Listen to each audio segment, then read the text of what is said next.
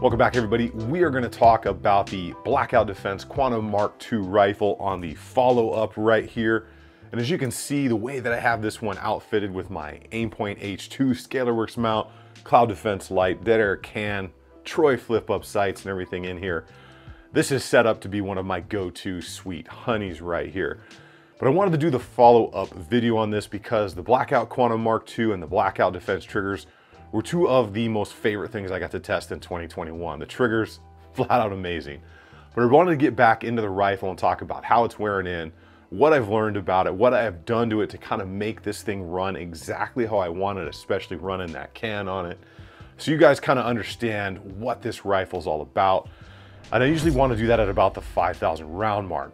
I didn't get to 5,000 rounds this time because ammo is just insane expensive still, and I'm not Garand I don't get like 10,000 rounds shipped to me when I review a rifle or a pistol. So I'm at about the 3,500 round mark, which is still pretty good, but I like that 5K because that's just kind of a happy point where I think that you're really gonna start to see if something's gonna go wrong or if everything is gonna continue to go right. Now sitting at that 3,500 round mark, what we're gonna talk about is how that bolt is wearing in, what we're seeing on there, is it coating wear or something else going on the buffer that I'm running in there and how I've kind of got that thing dialed in where I'm running it with the can, without the can, what you can do there. And then of course, just the overall functionality. Have I maintained accuracy on all of that good stuff when it comes to the Blackout Defense rifle? So before we get into all that, this rifle and some of the ammo that I've tested this was provided by Blackout Defense. So there is a relationship there. I have become friends with the owner, the owner's wife there, who's the other half owner. and people that work there. The main armorer there is an XSF dude, awesome guy. They've got really cool people. I've been in the shop multiple times. So there is somewhat of a relationship with there. So take that into account as we talk about this. You guys deserve that honesty. So with that being said, let's start talking about how this thing's wearing in and what I have done to it. First, let's get right into how this thing functions out there and how it was under that recoil impulse. Nine, and they've got that gas system and that barrel length tuned in very, very well with the blackout springs that they put in there, as far as the buffer spring, and they send it with a carbine buffer. Now, ultimately, I think an H1 is perfect for most people in there, and you can get a variety of muzzle brakes on this from the dead air that I've got, the KeyMo mount on there, they have their own, and they can also put other ones on there for you. However, I find that an H1 runs perfectly smooth, definitely downs that recoil impulse a little bit and gives you great reliability as well. But I run this thing with a can a little bit, so I'm kind of sometimes running the can and sometimes push the limits of that buffer weight to see what I could get away with.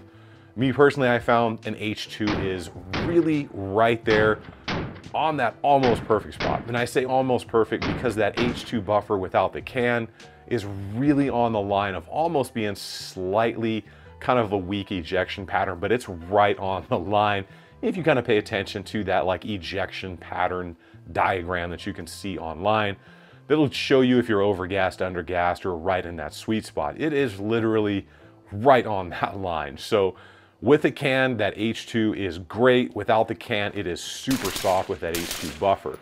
Now, if you wanted to run dedicated can on this thing, run that dead air uh, Sam is you could run an H3 no problem at all and it will function very, very nice even when super dirty. Now when it comes to accuracy, I haven't noticed a shift at all. I did change over from some of the optics I tested on here from the Vortex Solar SPARC to the Aimpoint H2 on there on that ScalarWorks mount because like I said, this is one of my now dedicated rifles that I go to time and time again. So I wanted to put the best I could afford on that rifle.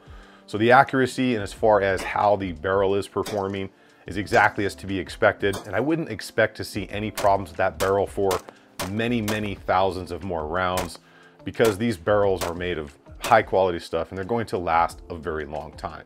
Well, let's go ahead and take a good look at the bolt and carrier group here because what we're gonna see on this is a nitrided bolt.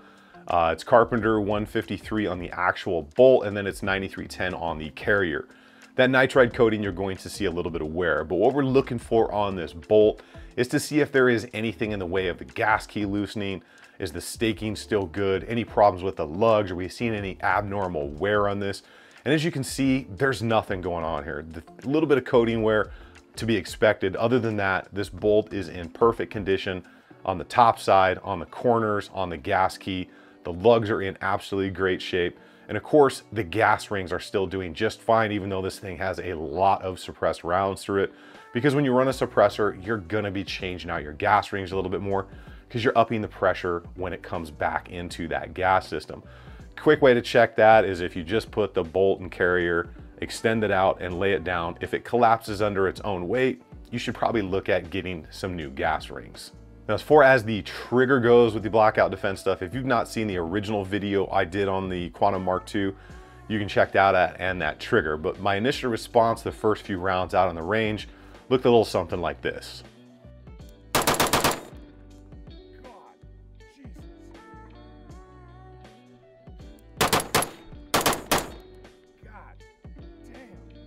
When it comes to the look and the fit of the receiver here, these things fit super tight and that's the way they are meant to be. Now there is that press lock technology in the front and that's to give it another level of rigidity, although I don't really think they need it.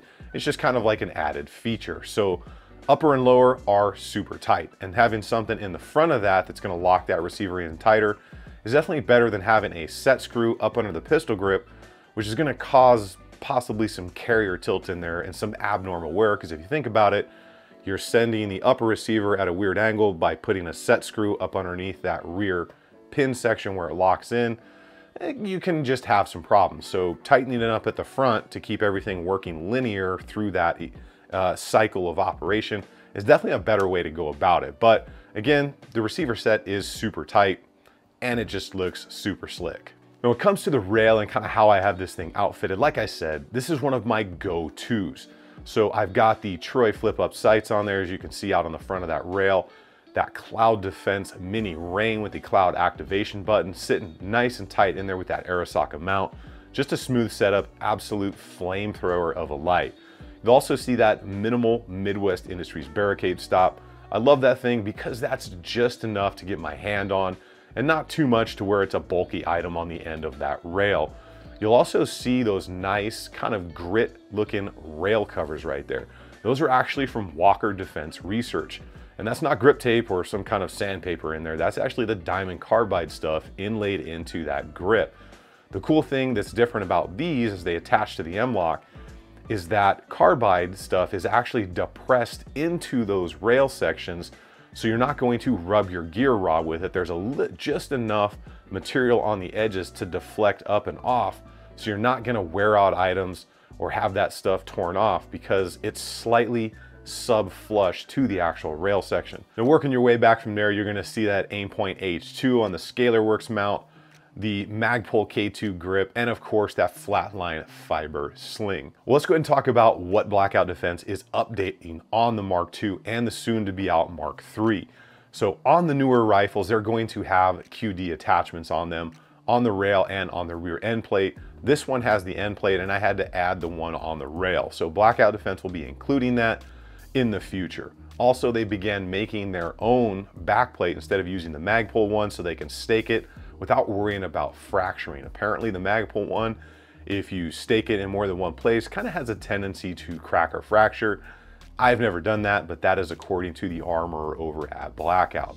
So they've also come out with their own ambi charging handle, which is definitely a nice touch because what they're trying to do is make every single part they can in-house to completely do the quality control items inside rather than ordering parts from the outside and maybe having some issues with those. They'll also be changing over to the Magpul stock and then using a Magpul K2 grip because that grip has less of an aggressive angle which is just much more comfortable for the modern shooting platform and hold style when it comes to rifles. And the last change, they may be doing a pistol variant out there very soon and see how that does in the market.